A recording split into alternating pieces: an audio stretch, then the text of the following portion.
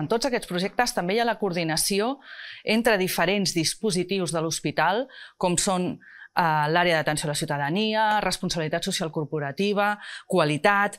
És la promoció amb l'objectiu de la promoció i la millora dels serveis i la seva qualitat.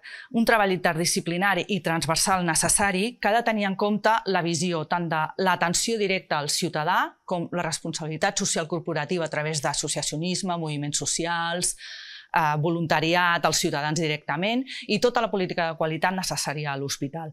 Tots aquests projectes també es veuran reflectit en el proper any 2023 en un projecte transversal que treballarà també amb l'àrea d'experiència del pacient en el procés d'alta.